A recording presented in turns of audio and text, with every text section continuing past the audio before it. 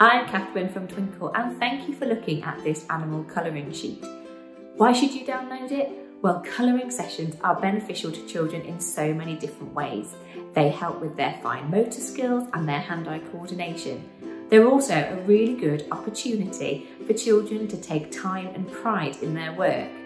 Colouring can be relaxing and it's a really good way to wind down at the end of a busy day at school or out and about. It's also really fun too and it's a lovely thing that you can do together as a family.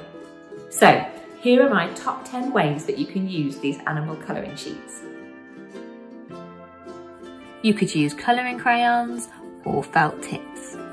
I always find it's really nice to have a special set of pencil crayons because it always encourages children to do that extra special colouring. Of course, if your child would prefer, have a go at using paints with our colouring sheets instead. You could discuss the colours and why they have certain colours, or if you wanted to, you could just go absolutely crazy and choose whichever colours you fancy. And of course, it's a really great opportunity to get creative. Activity is to do some collaborative colouring. You can choose a picture, cut it up, and then ask different children to colour it in. Then, when you put it back together again, you make one fantastic piece of art that everybody has contributed to.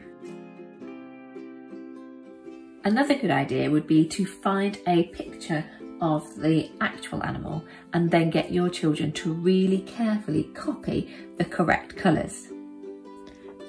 This is great for their observational skills as well as learning a little bit more about the animal they're colouring in.